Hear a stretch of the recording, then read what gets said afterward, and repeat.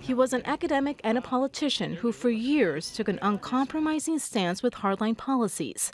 But all that changed when David Trimble surprised allies and critics by leading Northern Ireland's unionist pro British majority into a peace deal with nationalist and Republican opponents. A towering figure in Northern Ireland and British politics, he became the architect of the Good Friday Agreement. It helped end three decades of sectarian and political violence known as the Troubles, where the guerrilla group the IRA was fighting British forces and pro British paramilitary groups.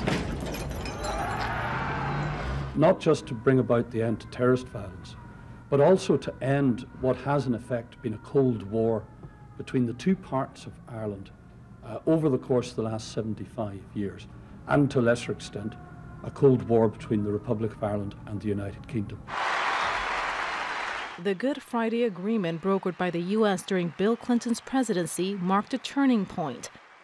And in 1998, as Ulster Unionist Party leader, Trimble won the Nobel Peace Prize, shared with his Catholic adversary, John Hume.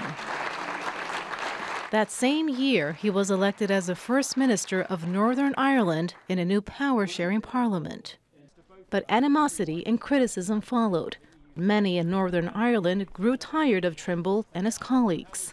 He was eventually eclipsed when the hardline Reverend Ian Paisley went on to share power with Sinn Féin, the political wing of the IRA.